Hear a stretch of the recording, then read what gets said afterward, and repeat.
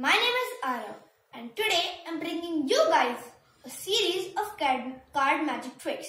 In this series, uh, I will post a video of card magic tricks and the next video I will post how to do that trick. But before we begin the first magic trick, I would like to tell you that if you like this video, please subscribe the channel and give a like to this video. So, the first magic trick that today I'm going to show you is the time travel. In this trick, the cards will travel through the deck of cards as per I want. Here is a normal deck of cards. You can see all cards are different. Now, I take some cards.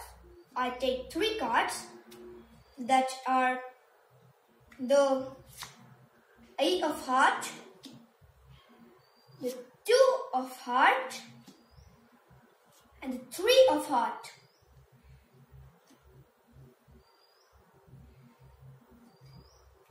Let me show you once again.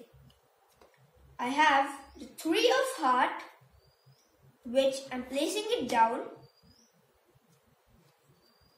I have the two of heart, which I'm placing it down.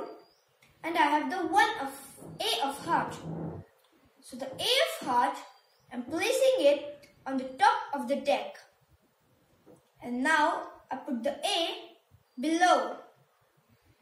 And now you see five, four, three, two, one, boom.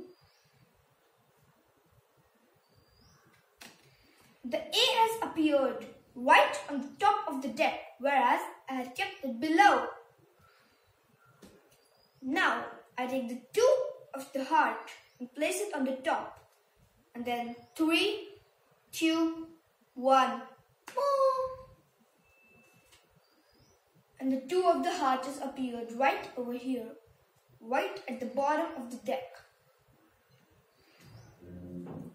Now I divide the cat, the deck into two parts. I take the three heart and put it on this deck. And then, boom. The three of hearts is right over here. So this was the time traveling trick. Please watch the next video so that you will get to know how to do this time traveling trick. Thank you. Enjoy magic with me.